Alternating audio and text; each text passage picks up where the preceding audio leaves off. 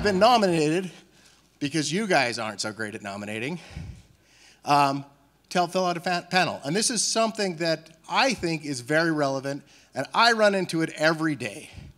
So I'm going to look for some thought leaders and some people that can help me. I think we did. Who did we have nominated first? Had one nomination in the back. Come on up. We're, where are we putting these? We putting them right here? Perfect. Ad hoc. We're going to walk right into this.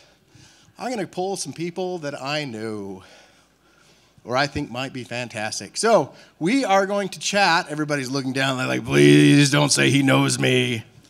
He might pull me on stage. So, what I'm looking for is people that are in this every day that have to deal with the legacy systems, that have to move things. You're nominating yourself, fantastic. You're up. You're up. Head up there. Head up. Head up there.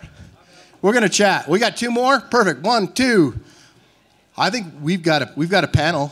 Um, I'm certainly happy to talk and sit on the panel with people. It's something I deal with everybody. How many we got so far?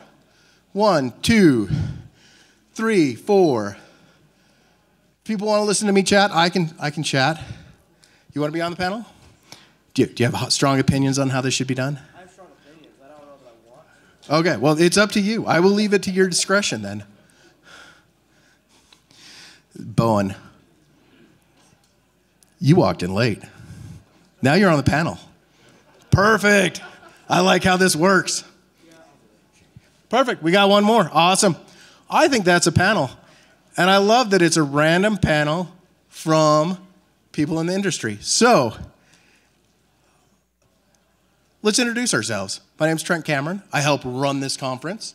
Um, I'm also, in my day job, I work for a small company called TrueMark, and we're a managed SRE, managed um, service provider. Um, we also migrate and help people come to the cloud, um, which means I run into legacy systems every day um, and have strong opinions about how they should be worked. Uh, my name's Jaime. Um, I am trying to do my own thing right now, but uh, also strong opinions about about certain topics. Depends on the topic. Uh, um, to, to the person who wanted to expand the definition of customer, let me just say that if you water down the definition of customer, you start losing your why because you lose contact with, uh, you, you break the chain of, you know, why you're working on whatever you're working on. How does that actually bring money to the company? If you've diluted your uh, definition of customer, that's going to cause you to dilute that as well. Perfect. Cool. My name is Brandon. Um, I work at OC Tanner. I've been there for about a year. And uh, in terms of legacy systems, we've got a whole lot. So Trent uh, is currently helping us with those. My name is Allison Pryor. I'm a senior security specialist solutions architect with AWS. Uh, but prior to that, I dealt with security and DevOps and the security lifecycle and decoupling the death spiral that is uh, legacy systems and security. Uh, my name is Bill Moore. I'm a solutions architect for uh, my own company called Atmosoft, and uh, we do a lot of work with uh, legacy, legacy systems, upgrading them, moving them into the cloud. More from the development side, but we do do a lot of DevOps work. Thanks. My name is uh, Thomas Bell. I'm lead uh, infrastructure architect for a company called DeepSee in Draper. we build AI models for uh, banks operations, and uh, I have a background uh, work in for a little over a decade working as a developer and operations and um, at large companies and, and startups uh, alike. So a lot of a lot of legacy systems in my experience. I'm Bowen Masco. I work for Walmart. We manage the my team manages the ingress stack for Walmart.com and related properties. Uh, our our main code base right now is in Go, and it's over like 10, 12 years old. There's like we're like the third generation of developers that have been working on it. So it's a legacy system. It's a legacy Go system. That's you don't hear about that very often. All right, perfect. So let's get rolling. What I mean, legacy systems encompasses everything, right? So we've talked about everything from I've dealt with this week, old Oracle. Eh, we should ask that. That's a, actually an inter- interesting question.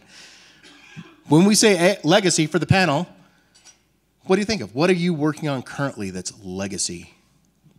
We got the we got the go answer. Go ahead. Yeah, that's Uh, for me, we've got a bunch of apps. So we have Linux systems that are on five, six, uh, seven, and it's upgrading all those OSs, doing a data center move, um, and then eventually getting off of those apps onto our new apps. So there's just a ton of stuff, and then documentation between these systems is completely different. I mean, sometimes you get a lot, sometimes you get a little.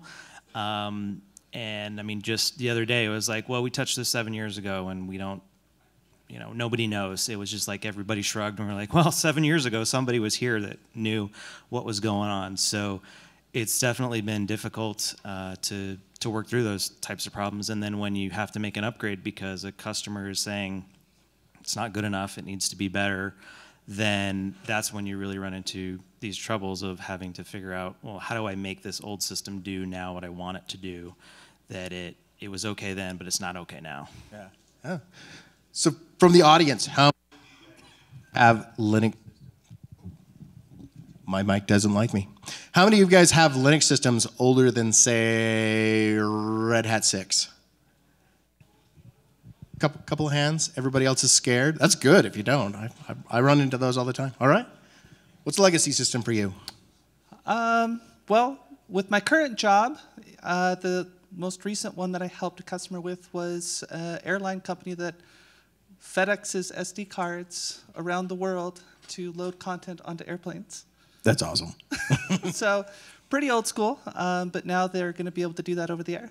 Okay. Um, previous jobs, uh, everything from figuring out how to run uh, Windows 2008 in AWS to uh, 25 plus year old SAP environments needing to be modernized. Yeah, that's that's always. Who has an old SAP environment around? I'm seeing the same hand. Oh yeah, there's some more. I know there's. I know they're out there. Uh, old Windows boxes. What's the oldest? Maybe I'll get somebody in trouble. But what's the oldest Windows box we have in production? Oldest. So who has a like a 2012. I have 2012. I think that's one. 2012 is definitely one. Who's older? 2003. What what do you got? I, I, I Oh, three? a long time ago. Server 03. Oh, in prod? Wow. That, that is impressive. Your name will be withheld. You're behind the cameras. You're fine. Wow. XP and prod. Anybody got 3 1 running around? No. No, no. XP's it. You, you win. DOS emulator on your phone. Gi- give that man a book. All right. So, so okay. Well, let's keep going. All right. So uh, I'm working on a, a legacy system right now. The company that we're doing work for is uh, trying to migrate to uh, another platform. So we're currently maintaining an ASP.NET web form app that was written. I mean, web forms has been around since '99. I was doing it back then, and so uh, yeah. So and it's it's one of those situations where you know every time you touch something, something somewhere else breaks, and so we spend a lot of time just breaking it out and and then getting the components so that the website doesn't go down all the time, and then obviously they don't want to do put a lot of money into it because they're trying to migrate somewhere else. So it's not like you don't get a lot of time to fix it. It's basically like just keep the wheels on the car and, until we're ready to retire the vehicle. Yeah. And that's scary, right? Because we're not trying to modernize it. We're just leave it alone, leave it in the background, let it run. Don't touch it. Yeah, there's certain areas where areas in the code where you're like, I've, yeah. I've seen that with lots of customers. Yeah, yeah. right. What's what's a legacy system? So yeah, a legacy system is anything that I didn't build. Fair. Uh, True developer. yeah, so we're we're you know one thing I find interesting about legacy systems, so-called legacy systems, and tech debt in general is that uh, even when you're in a startup, like I'm in a startup, I've been in a couple of startups, and what I find interesting is that you still have legacy systems, they just evolve much quicker. So I was like, oh, that was built six months ago, that's a legacy system. But then you have like I worked at a large uh, restaurant chain globally, and they were running on Oracle and all these things, and uh, I, th- uh, to me, it's just like a legacy system is just any any system that uh, prevents you from uh, achieving some sort of goal, either in the short term or the immediate term. and uh, needs to be refined in order to achieve that objective. Yeah, I think that's a really apt definition, right, of what a legacy system is. All right, Bowen, what are you doing to combat the Go funness? Like, I mean, Go. You think of Go as a fairly modern language. What, what challenges and how do you how do you start to address that? Uh, so ours was started. The original code base was like started with Go 0.9 or 0.8, and so a lot of the what is now current paradigms in that language were not. They were just done completely differently. Uh, primitives that exist now were implemented by themselves, like custom. So it's it's kind of like the basic.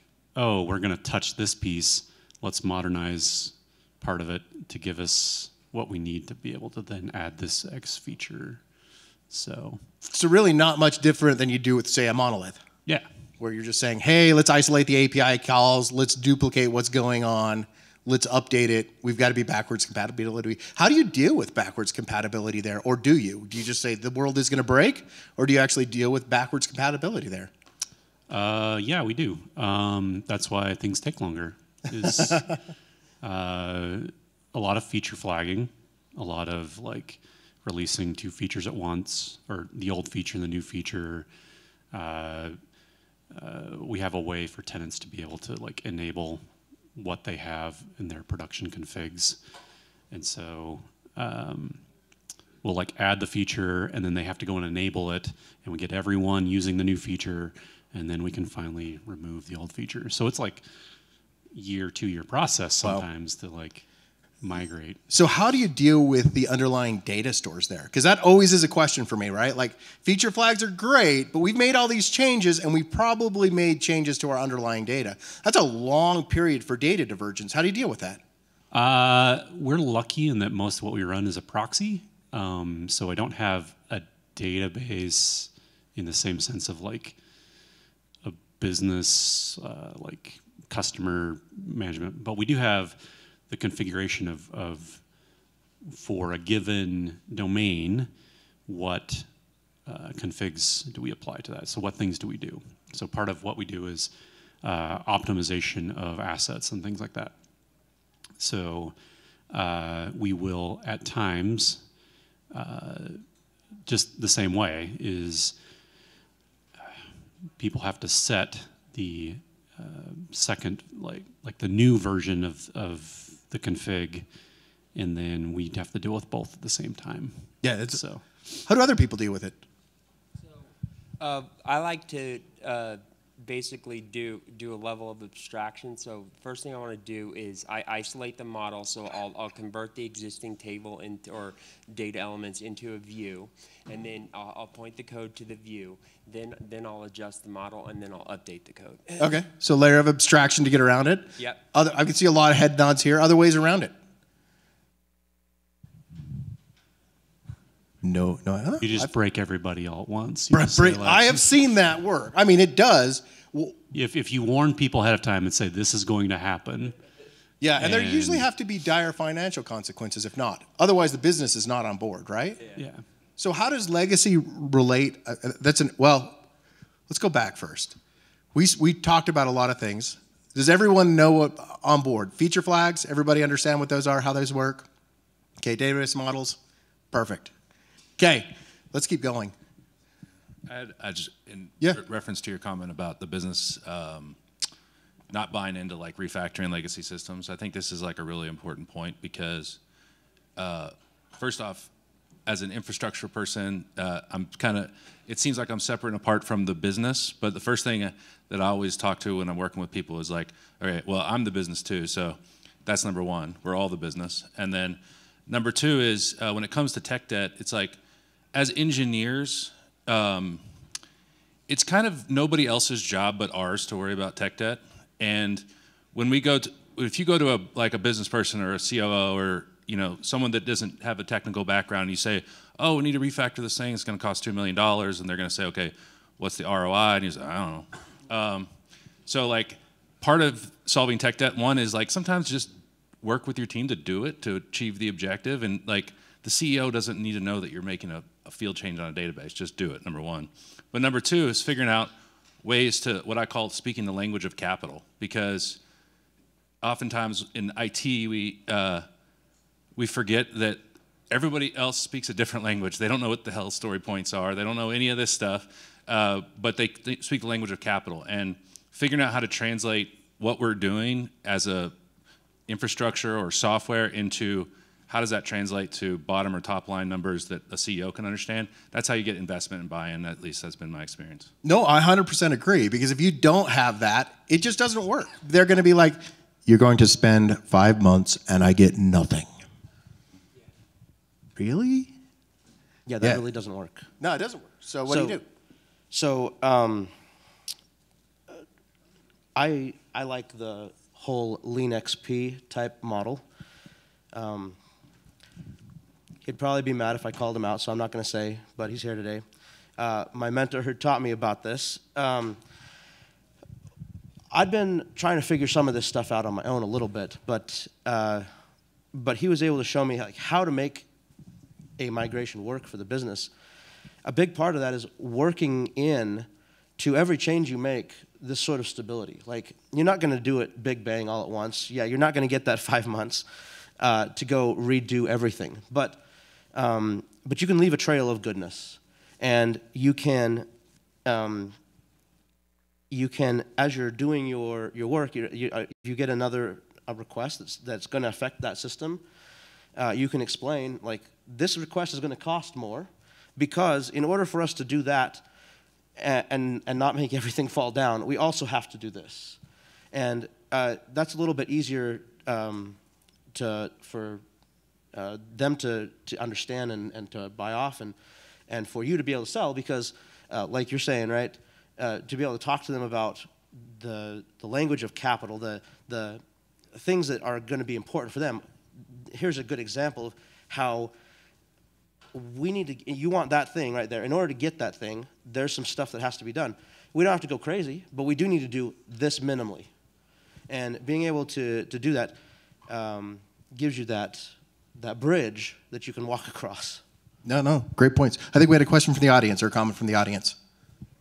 I was just going to say, I think as far as business value, that it's starting to change and become more obvious. Like we just talked about MFA for 30 minutes, and we talk about breaches. Well, I, anybody can understand a security breach, right? So, so that is one way that you can start to drive changes. Be like, I mean, it can look pretty ugly sometimes to point out holes or problems or things, but or, or say, well, if I get this new version or I do this major upgrade, I'm going to be able to enhance it with these five features, and those are those are top line features. Security is becoming a top line feature. Um, you know, reliability for web properties is is a top line feature, right? These are not um, non-functional requirements anymore, and we just need to make sure that we don't talk about them like they are, um, and just politicize that, publicize that.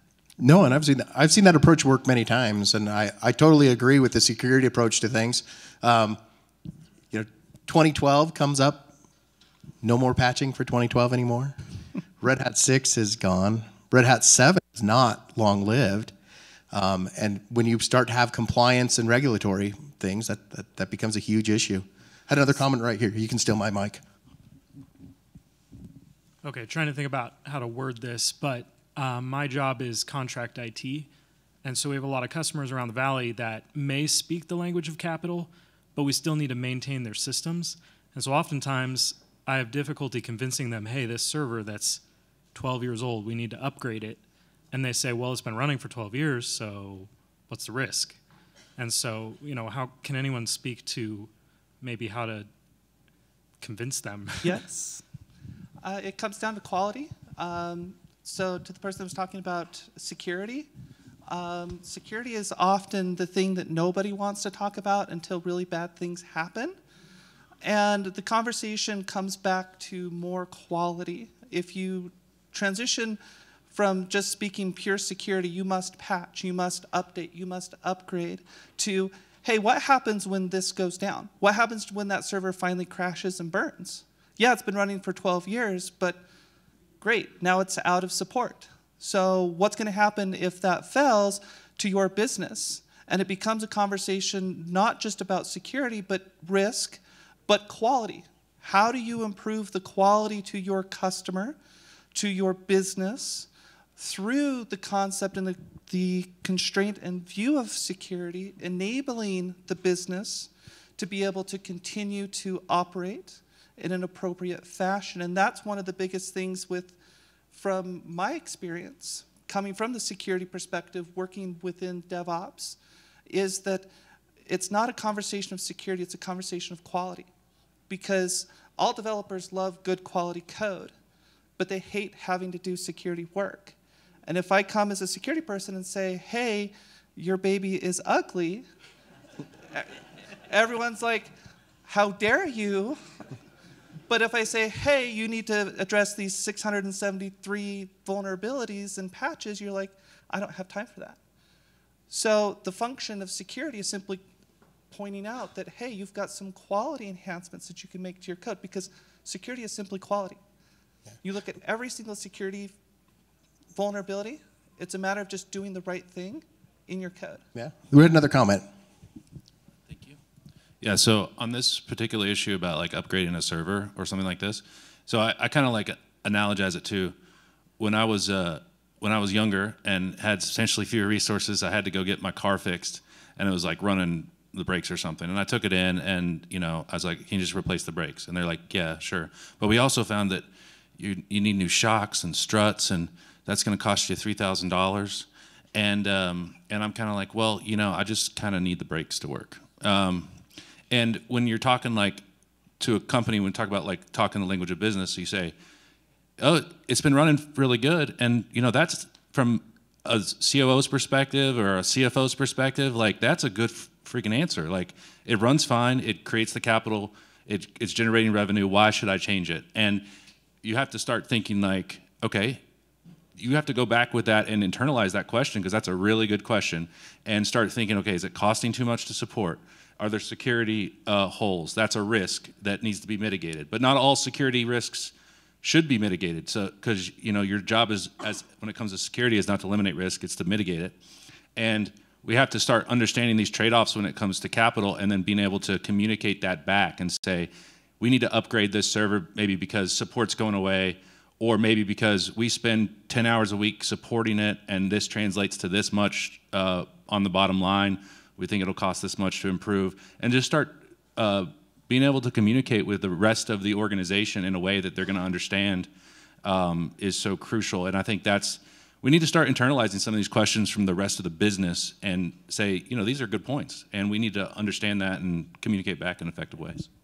Yeah, definitely agree. So, uh, total cost of ownership, I think, is what you're getting to, because one of the most influential uh, PowerPoint slides that I've ever seen was the number of active real world vulnerabilities based on the operating systems that were actively running inside of the environment to show that if you're running Windows XP, you have n number of vulnerabilities that are actively exploitable versus, say, Windows Server 2016 or Linux 9 versus 6. And the conversation is that your ops teams and your security teams, your dev teams have to spend more time making sure that they're not going to be compromised by running on older technology. If we look at other third party products or vendors that have been compromised over the last five years, it's the same thing. The longer you go, the more total cost of ownership in operating and executing your not just applications, but your infrastructure that needs to be brought into that conversation from a finance perspective. So what we're saying is the 86 Corolla is old. it, it may still, still run great. well. But it still runs great. I dump a quart of oil a week. It's fine. Okay, next question. What, what are the questions the audience have? That's a really good question. No question. No one has any questions. Oh, we got a question in the back. We have a mic runner? Perfect. Thank you. But it is a hard question, and finance is so much. It's funny because we're a bunch of you know DevOps nerds, right? Like, but finance is so much a part of making good decisions. So my question slash comment it's it's around not just the operating system, right? That needs to be upgraded. Uh, sometimes the tools running or the applications running on on those servers depend on tools like Apache, Java, uh, Tomcat, you name it, right? And, and if you have an application that was written, I don't know, seven years ago in Tomcat 7 with Java 7, right? Taking that step of, you know, going to, let's say, I don't know, Windows 26 or Ubuntu 2022, whatever, right? Then it also implies that it's going to take time and resources to get to get those applications ready to run on newer versions of the tools. Um, so I think that really is a good point, and it brings me in a good direction. Container containerization. Let's talk about containerization in legacy systems. Who's seen it done really well? Who's seen it done poorly? I've seen both. I've seen containers that shouldn't have been containers. But I've also seen them do some things that I'm like, at first glance, that should never be a container.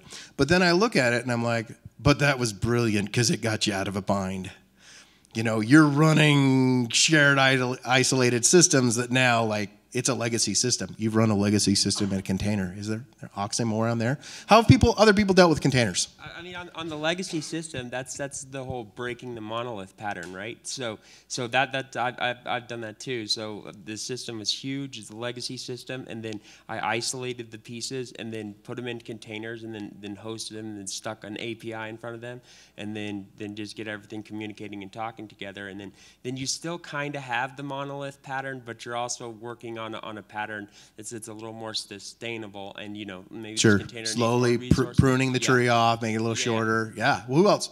Well, I was gonna kind of I think what you're getting at, Bill, um, is uh, we think about like monoliths as like these big servers that sit, but th- they look like monoliths because they're servers either physical or virtual EC2 instances. Uh, but in reality, they're not monoliths. No server is a monolith. There's all these different services running on it, mm-hmm. and they're all communicating over a network. So you don't have to say, oh, this EC2 instance, I'm going to turn this into a Docker image. It's like, no, just take the Tomcat instance and put that in a Docker image. And now it's communicating over localhost on that network and start teasing these pieces out.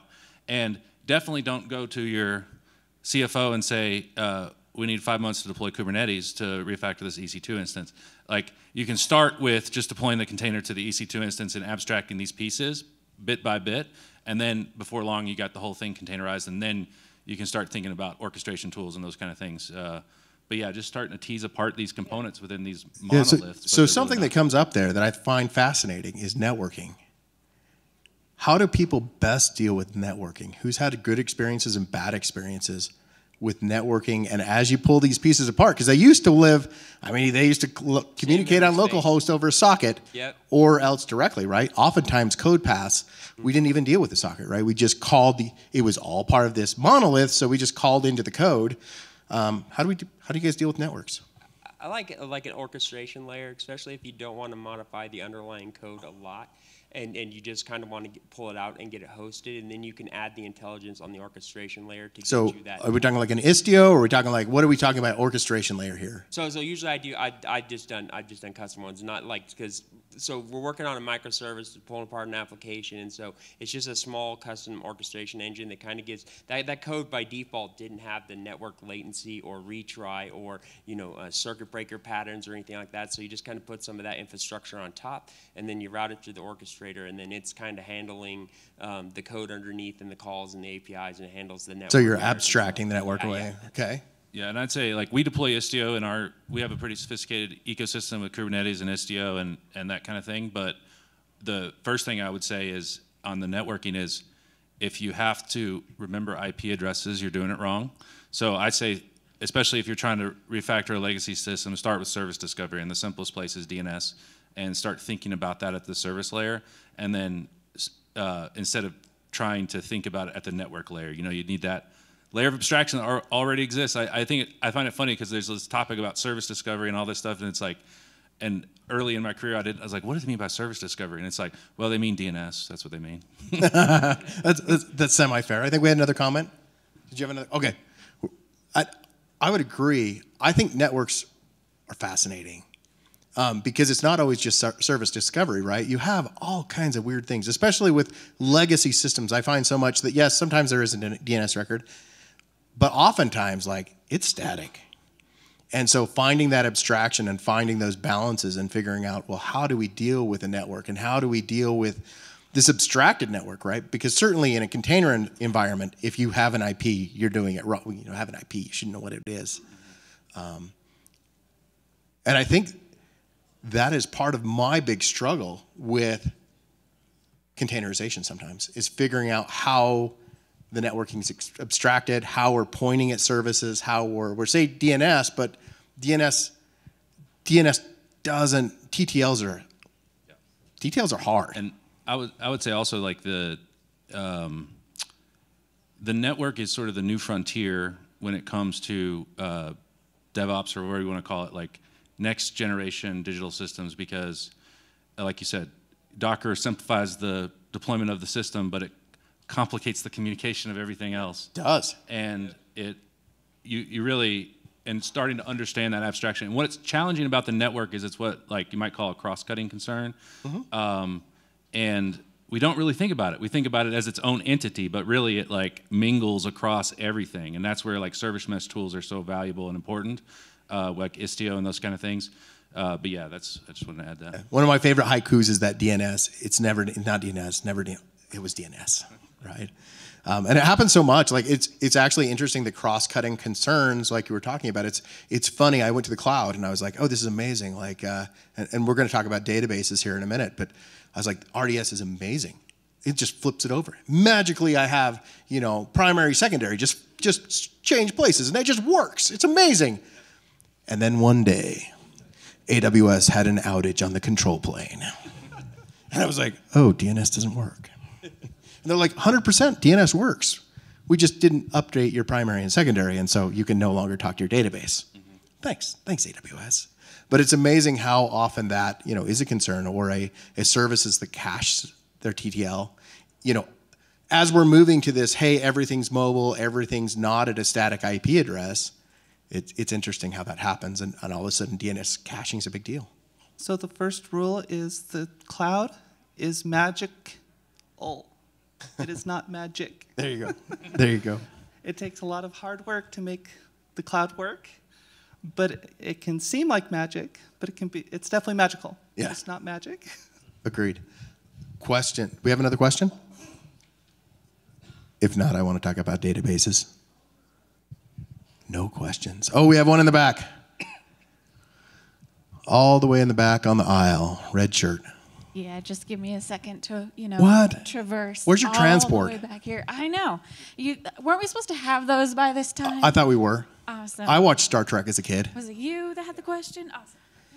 So we're talking a lot about the legacy systems. I want to know for the panel, uh, for those who still have legacy system, what are your biggest blockers to come out of those legacy applications? Like, uh, are there any plans, or if not, what are the technical challenges you are still facing? Maybe talking about the biggest challenge, not all. The biggest challenge. That, that, that's a good question. The biggest challenge. I, I let the panel go first. Let's uh, let's go down the row. Yeah, go ahead.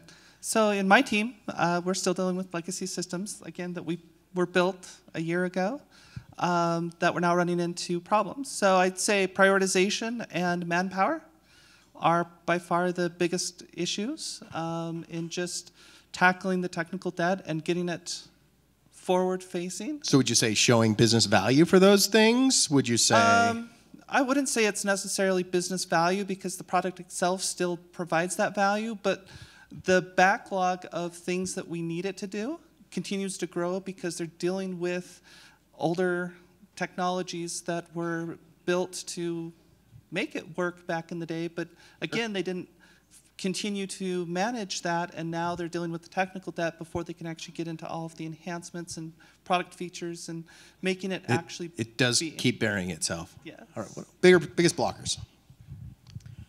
So, uh, first of all, uh, show of hands, how many people here are not day-to-day technical? Like management, C-level, anybody? We've got a couple. Okay, cool, cool, cool. Um, one of the uh, one of the biggest challenges that I've seen is actually, uh, I, I like to say, the hard problems aren't the technical problems.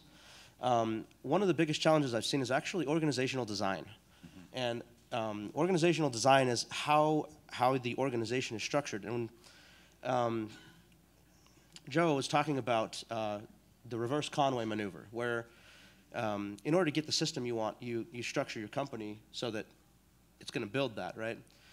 One of the one of the challenges that I've seen is um, I'll talk a little bit about a past life real quick. We had a, a team where we were actually able to do zero touch deployment. We would commit our code um, to, to master, to main, to make sure uh, it was working. And from that moment on, I didn't have to touch it. It went to prod. I didn't even care when, um, because once I had made sure it was good, it could, it could flow. Uh, we tried to recreate this at, at another company, and it failed completely. Not because we couldn't have recreated the technology that allowed us to do this, but because the organization wasn't set up to, to leverage it. So, um, one of the biggest challenges that I see is that the, the changes to be able to make the systems that much better has to actually start outside of the, the computer systems. And it needs to start um, with an understanding of the difference between a, a lot of our a lot of our systems are built sort of with the, the physical factory mindset, but we're doing knowledge work. And knowledge work is fundamentally different. So as we are uh, trying to do this knowledge work in an older paradigm that doesn't actually fit, sometimes we have to question some of our assumptions and say, oh, we've been, we've been treating, I'll, use this as an example, we've been treating QA uh, like we would treat QA prior to doing DevOps, and we're gonna, we're gonna write a bunch of code and then we're gonna have them check it for quality.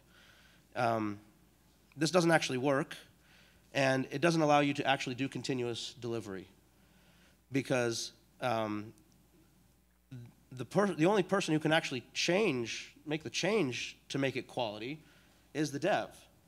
So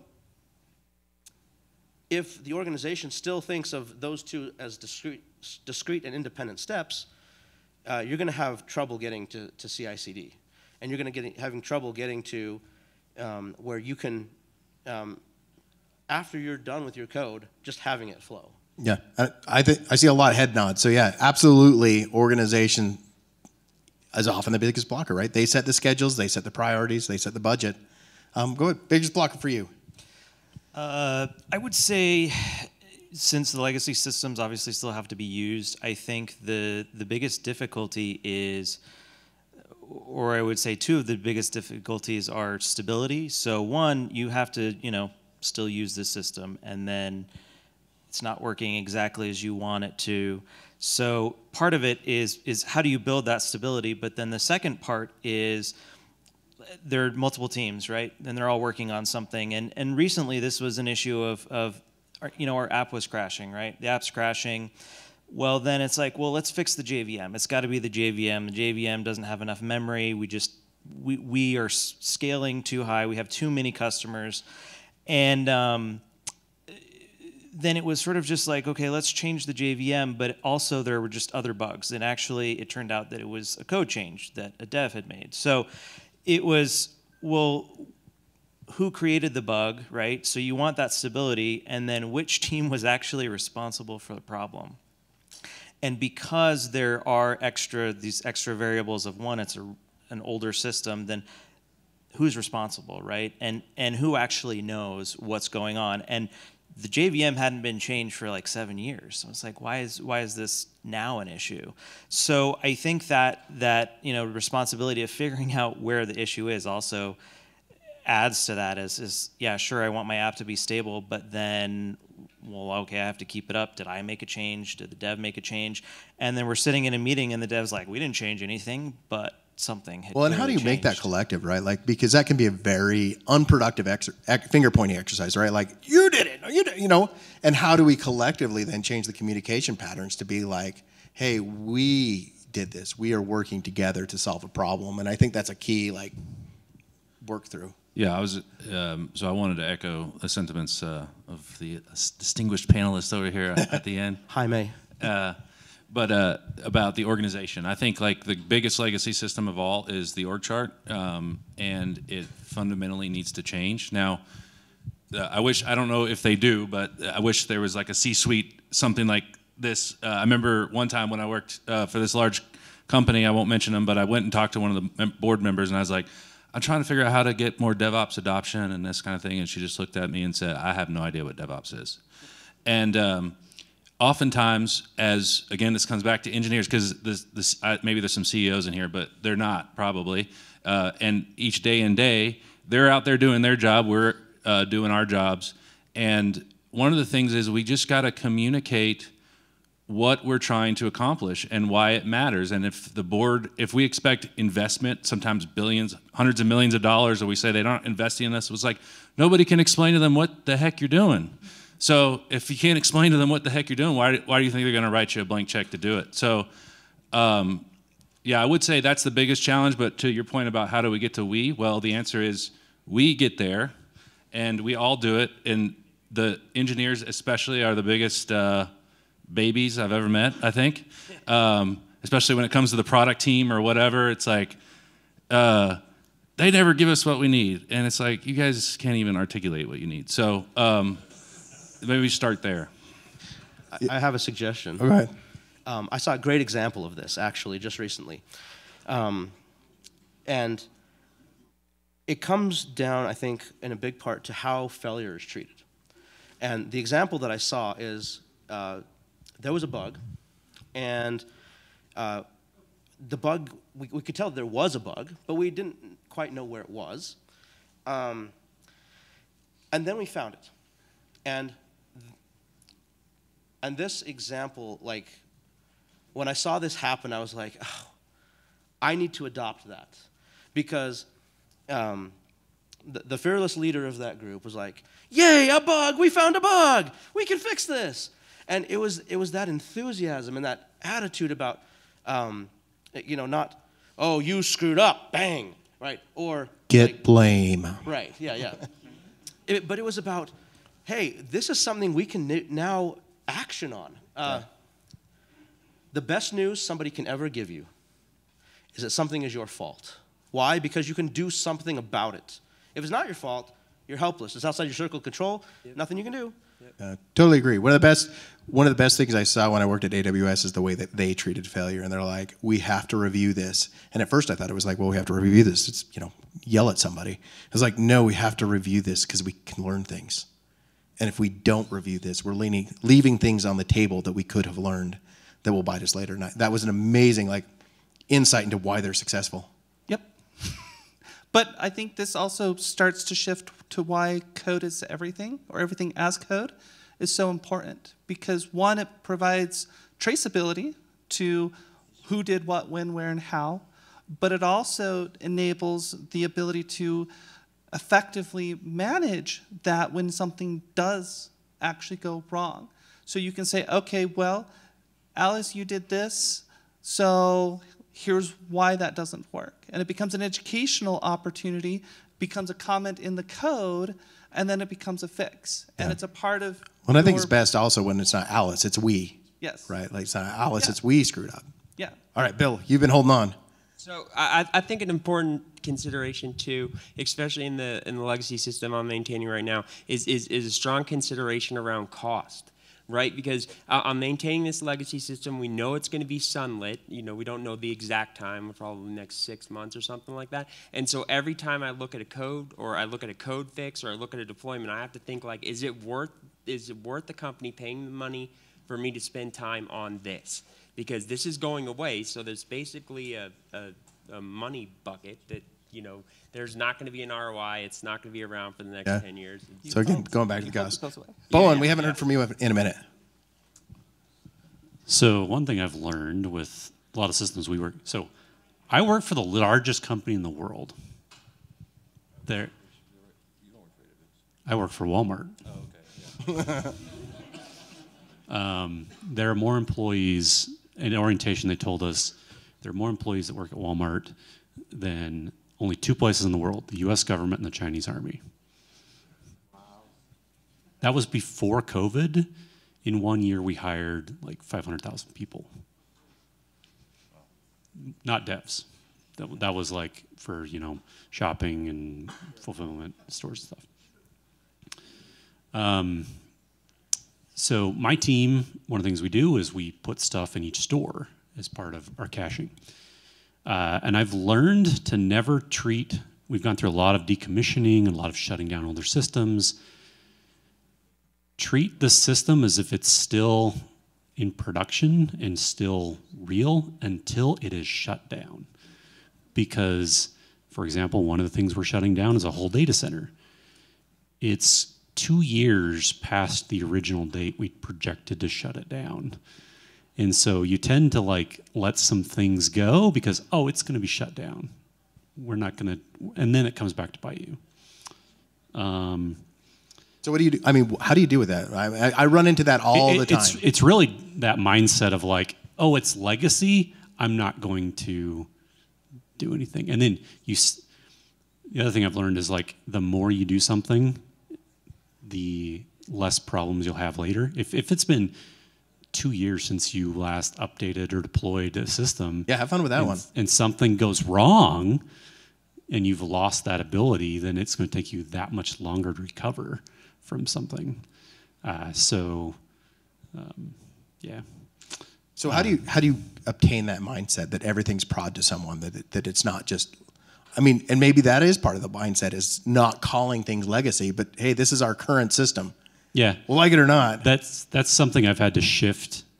I went through the phase of like, oh, it's it's going away. I don't have to deal with it until the past like two years, and I've been like, oh, I need to just treat them as if they're still there and real and valid, and they're not some odd thing that I can just leave behind. Or Yeah, and uh, that's always my favorite too, because so often we say that thing is going away, but how often do we know how it's going away?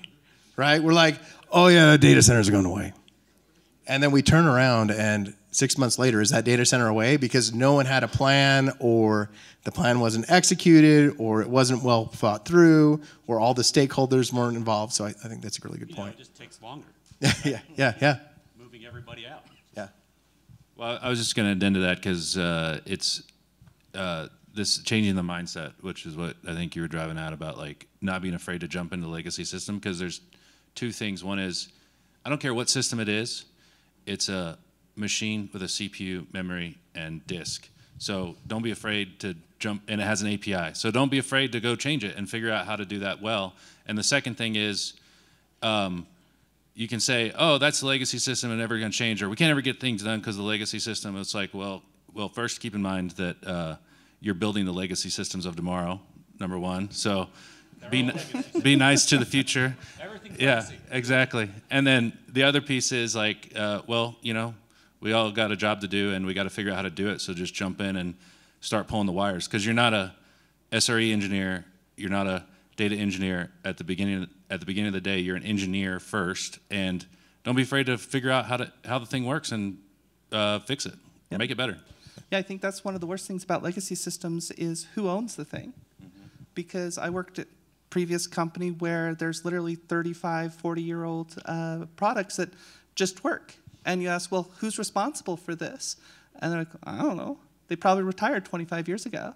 And nobody's touched it because it's continued to work. And then you're like, well, someone's got to manage this. And they're like, everyone's hands off, hands up. Like, It's we're just not worked touching for that. 20 It's- years. Why would we touch yeah, it? right? I currently have a customer that has a COBOL system Yeah. a lot of banking is that, built that still it Mainframe, still runs, and yeah. they're like, well, why do we change it? We'd have to retrain all our employees. We'd have to like, we fly through this. This works perfect for our business. So how do we deal with that? I mean, what if legacy just works for the business? So one of the things that, from a security perspective, I love doing was just turning things off. Um, if you're familiar with chaos engineering, it's the most hilariously fun thing you can ever do. That's going to scare everybody that doesn't know that you're doing it. Um, and when you get into the DevOps mindset and you're actually doing DevOps, that's what you should be implementing in your production environments. If what is being deployed doesn't meet what you want it to be, turn it off. Have those proactive slash reactive capabilities. Find out who owns it. Too. Exactly, because as soon as something, be, exactly, because as soon as something gets turned off or all of a sudden doesn't get um, up anymore, isn't available, someone's going to complain, and then you're like, okay, great, your name gets put on this, and now you're responsible for it. And if it's a business person, you say, great, you're paying for it. Now go, where's your development team? How are you sourcing the people? Because a lot of times, business will say, you can't turn that off because this is a tool that I use. And that needs to be a conversation that comes back to say, okay, business, you want this product, you have to pay for it. And as soon as money's involved, going back to capital conversation, now all of a sudden it's like, well, do we really need that? Because now it's going to cost us this TCO of saying, okay, here's how much this costs to you. And that's one of the things with legacy systems is being able to actually articulate for X product, here's how much it costs the business, not just from an infrastructure standpoint. Because many of you probably have an IT organization, and it's one giant bill that they pay, whether that's their own data centers or in the cloud, you have one bill that goes to IT. And the business doesn't care. They're like, spin up as many servers as you want. We're not paying the bill. But as soon as you start giving them that bill, as soon as you start attributing the cost to the business, there's some really great conversations that start to happen within that organization to say, Yeah. justify this for me. And for sure, like cost cost drives decisions. And I think it has to be not only the cost of how much does this system cost to maintain, but you know, what is it costing you in speed of deployment? In hey, every deployment actually takes two years now because, you know, we're trying to support and maybe that's okay, right? Maybe for the pace of business that's okay and, and maybe it has to come down to that as long as we're addressing the security c- concerns. You know, I'm sure if Walmart is not PCI compliant, there are problems. Every year I go through PCI audit. Your favorite time of year, right? Yes. Perfect. Perfect. Weird thing, same time as tax time. Oh, Uh, yeah. April 15th. Brilliant. It's like all auditors got together and said, Right, right there, right there. Other things you guys want to ask the panel? Other things you guys want to bring up? Oh, question in the back. All the way in the back. Do we have a mic back there? Yeah, you can yell, uh, and I'll reiterate.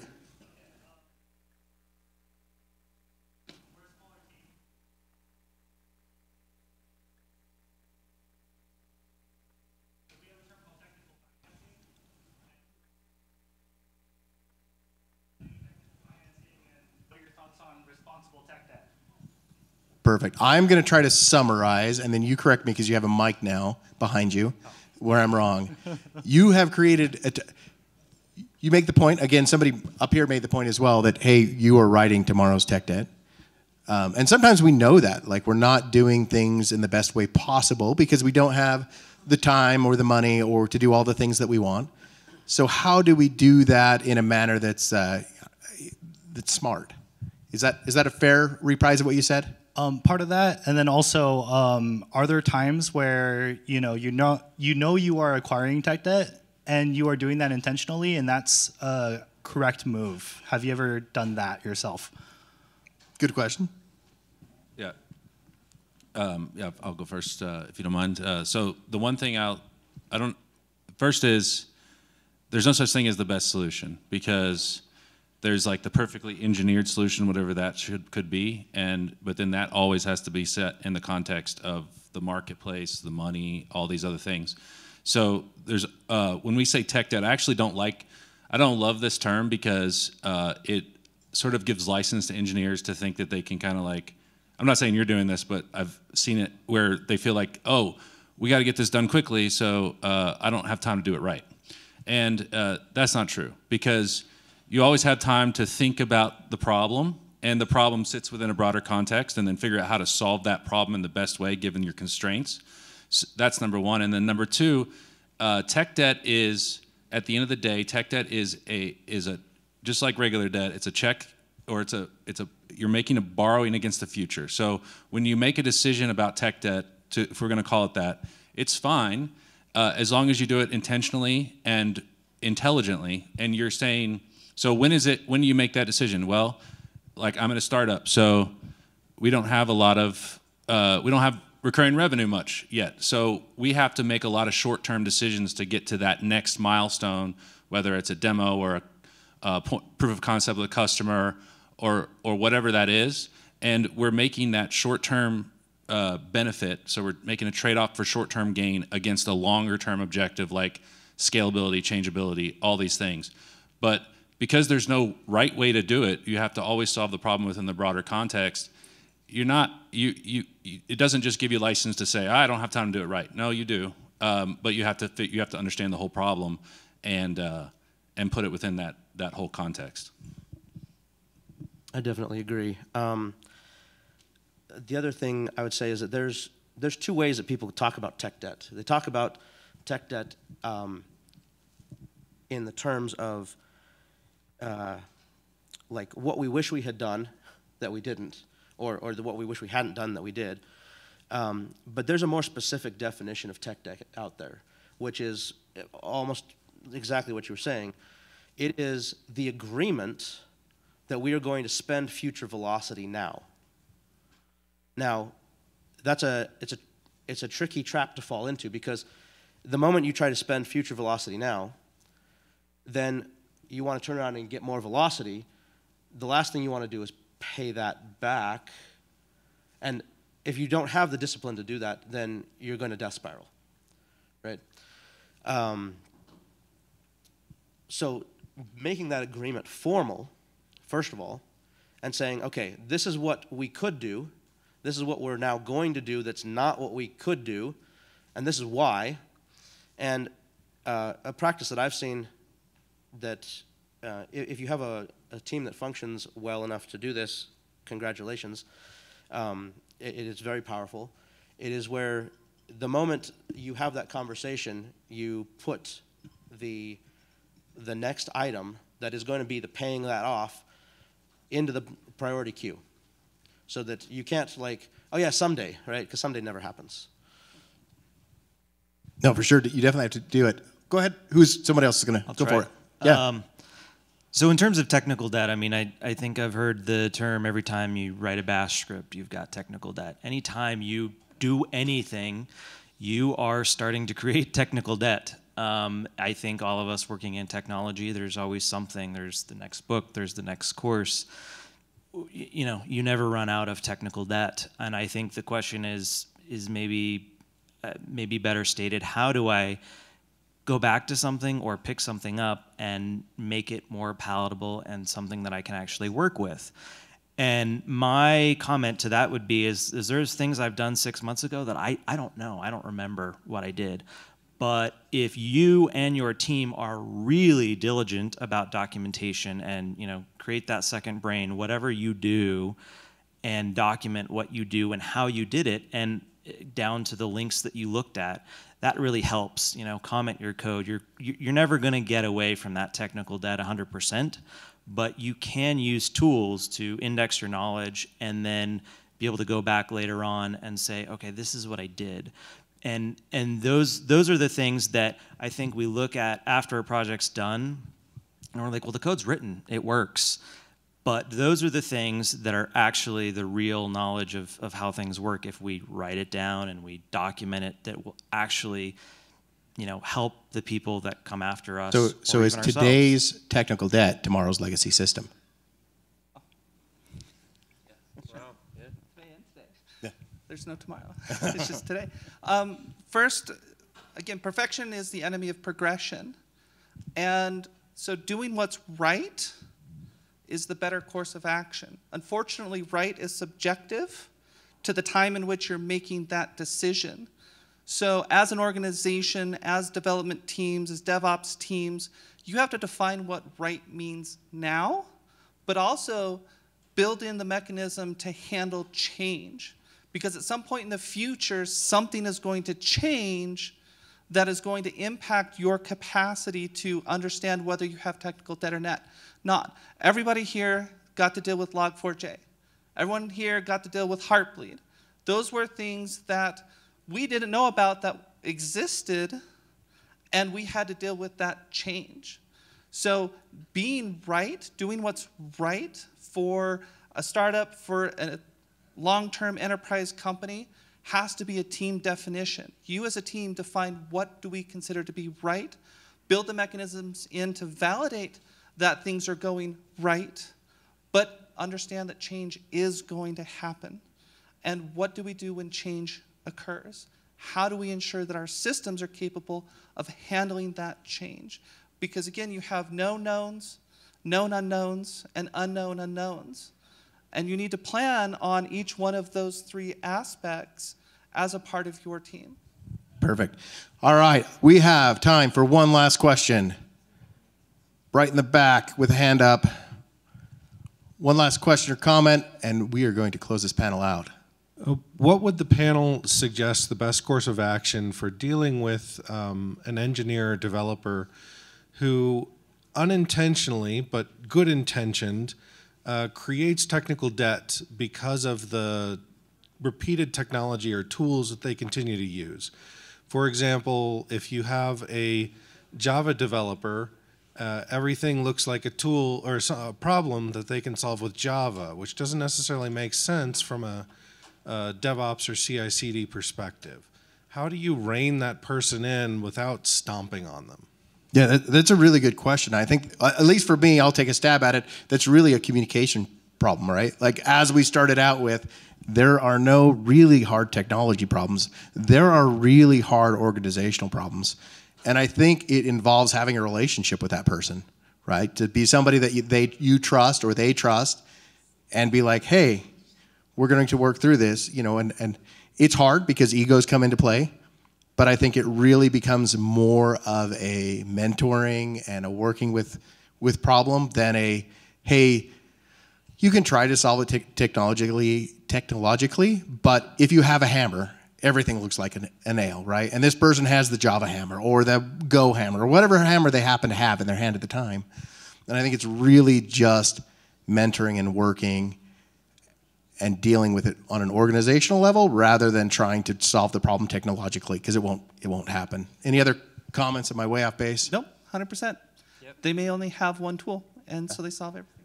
Teaching new tools. Um, yeah, I, I liked your, your mentoring comment. That's that's extremely important because uh, in, in my organization, I, I've dealt dealt with similar issues. I have people who are database experts and they just do database things, and everything gets solved with a query, and ev- everything gets you know views and stored procedures, and, and, and sometimes you gotta gotta gotta pull them back a Pull little 'em bit and say, out, hey, yeah. this is faster if I if I do this over here.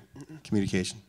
Yeah, and I think a lot of it has to do with um, uh, if someone is only using Java, for example, or stored procedures or something. It's sounds like it's mostly a, an education challenge because you know they have pressure to get things done and that you know things tied up with their own mind of wanting to be productive and all these things. So uh, giving space to learn new technologies would be one, and then the other thing I would just as like a, a point is like particularly on Java, stored procedures may be a little different, but um, when it comes to questions of programming language, languages, especially in the containerized world where you can kind of isolate services, and um, at the end of the day, it's all if statements and while loops. It doesn't really matter what language you're using, and uh, you can solve pretty much any problem with any language. So, in fact, that, that is, you know, that's the, the That- rule. That is what so, I learned in my 25 years. Yeah. I came to that conclusion. I was just like, it's all it's all the same underneath the hood. And, there, and there's good reasons. We can have conversations about what you support as an organization and how you deal with things. But all right, I, first off, a big, huge round of applause to our panel. These were all just people that came to the conference like you and I today. Um, and I, I really appreciate your opinions. It was fantastic.